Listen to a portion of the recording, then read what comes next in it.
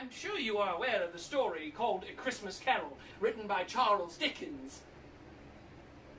You are not familiar with the story A Christmas Carol by Charles Dickens? No, I am not. What did you think we were doing? Singing Christmas carols. God rest ye merry gentlemen. No. Mr. Scrooge was positively the most tight-fisted, squeezing, wrenching, grasping, wrenching, most covetous old goose that ever lived.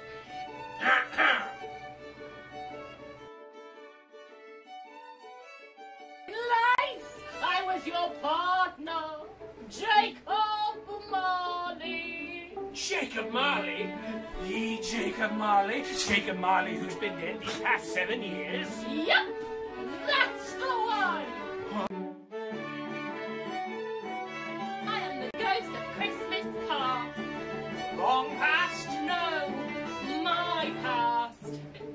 No, no, no, you're supposed to say your past. It's my past. No, Mabel, it's your past. No, it's my past. No, it's my. No, what is.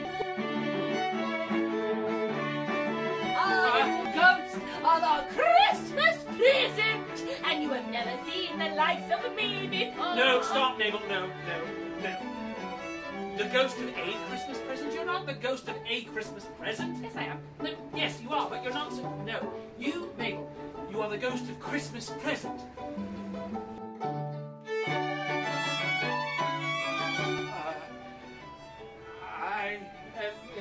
Presence of the ghost of Christmas future. Is that correct?